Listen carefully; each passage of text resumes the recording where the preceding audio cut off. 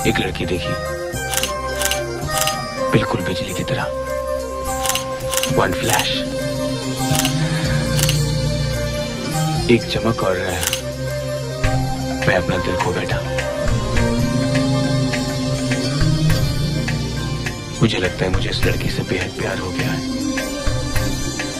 बस अब एक ही तमन्ना है। रहना है उसके दिल में।